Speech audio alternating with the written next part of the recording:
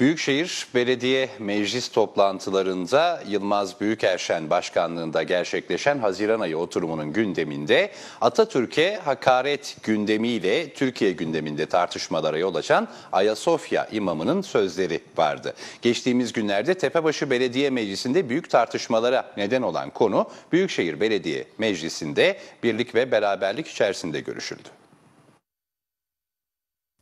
Eskişehir Büyükşehir Belediye Meclisi Profesör Doktor Yılmaz Büyükerşen başkanlığında toplandı. Opera binasında sosyal mesafe kurallarına uygun şekilde gerçekleşen mecliste 23 konu gündeme geldi. Gündem maddeleri ilgili komisyonlara havale edilirken öte yandan Ayasofya imamının Atatürk'e hakaret içeren sözleri de mecliste gündeme geldi. Odunpazarı Belediye Başkanı Kazım Kurt konuyla ilgili CHP'lilerin protesto bildirisini okudu. Cumhuriyet Halk Partisi meclis üyeleri olarak Atatürk'e yönelik bu saldırıları bir kez daha kınıyor. Ortak tarihimize ve değerlerimize karşı ihanet içinde olan bu zihniyetin temsilcilerine karşı hukuki olarak gerekenin yapılmasını talep ediyoruz.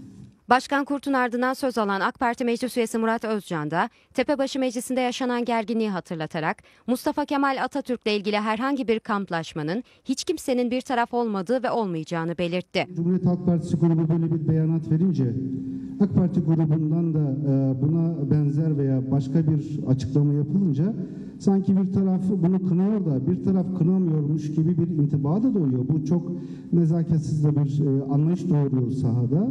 E, Biz Profesör Doktor Yılmaz Büyükerşen'in başkanlık ettiği e, böyle bir mecliste Mustafa Kemal Atatürk'le ilgili herhangi bir e, kamplaşmanın hiç kimsenin bir taraf olmadığı ve olmayacağını da bunu AK Parti ve MHP grubu adına da rahatlıkla söyleyebilirim.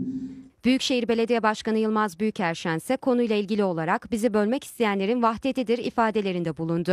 Eskişehir Büyükşehir Belediye Meclisi'ndeki üyeler birlik ve beraberlik içerisindedirler. Hassasiyetleri Cumhuriyet konusunda birbirine eşittir.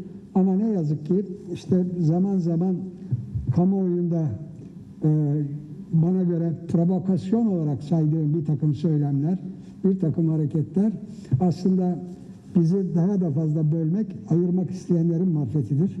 İç güçler diyelim, dış güçler diyelim. Vardır bunlarda. Ama bütün buna rağmen görülüyor ki burada iki tarafında aksi aslında hedefi söyledikleri bir e, maksut aynı.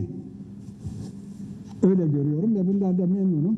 Her iki tarafa da teşekkür ederim gösterdikleri hassasiyetlerden dolayı.